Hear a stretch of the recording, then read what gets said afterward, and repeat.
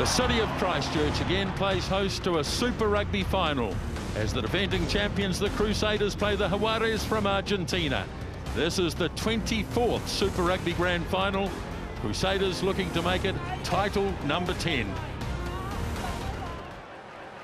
Number nine breaking away from the scrum and not going behind and eight. uh, Bryn eight Hall, the man penalised. So here is the first scoring opportunity of the final.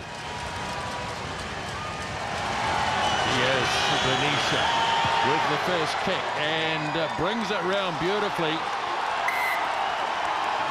And the Jaguares have the lead. Another kick coming here from Bryn Hall. Diaz Bonilla. And he down he goes. And this could be a more. Yeah, turnovers, mate. It's been turned over. Here's Sam White in a bit of space. Got it away to Taylor. Codie Taylor. First try of the final. You can see here Havili's on him, Todd's on him. Look at Todd's hands. So Todd's hands are wrapped around the ball and he rips it free. Places it down, scooped up by Kieran Read. Whitelock puts the hammer down, draws in two defenders. Still had some work to do to get rid of Cubelli Taylor, but it's enough and he crashes over. Really testing this Crusaders defence. Here's Bonilla again. Boffelli, Matera. Got his pass away cleverly. Here's an opportunity.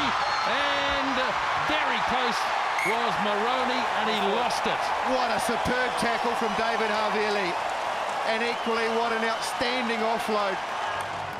A tackle that needed to be made was made by David Havili right around the hips. He hangs on, Bryn Hall over the top. A try-scoring tackle that needed to be made. The Crusaders survive. And a penalty.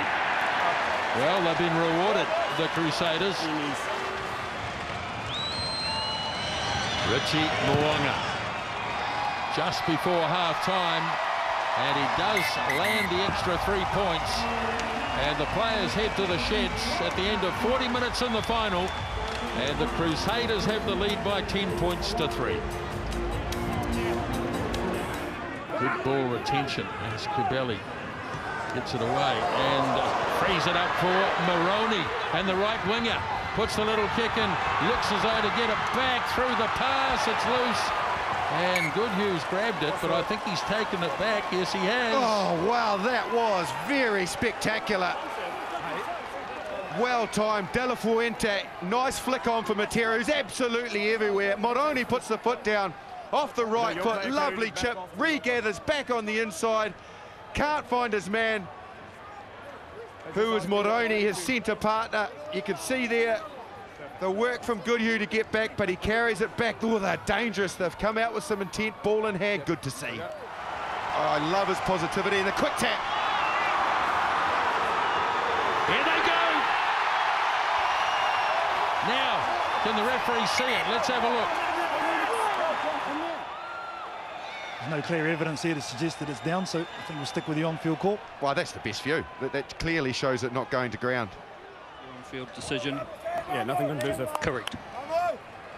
Your ball. Over the goal line. Your ball. big scrum here and the scrum has come up this will be a penalty at least a penalty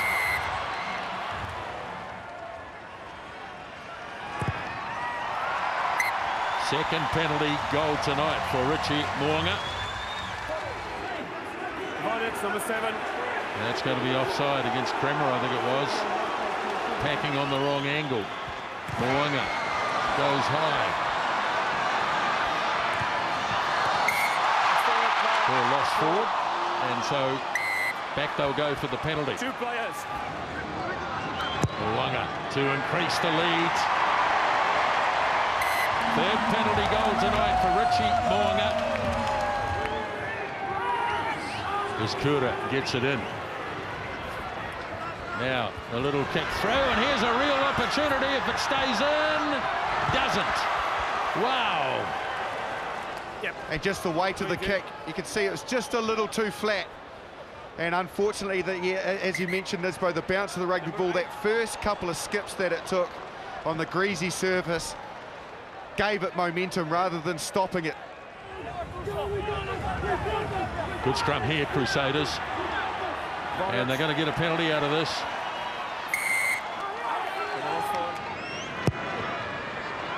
And he has nailed it. What a good kick that is. And into touch it goes. And the Crusaders win a 10th title. Magnificent scenes here as we're right in the middle of the Crusaders as they have won the Super Rugby title for the third time on the bounce.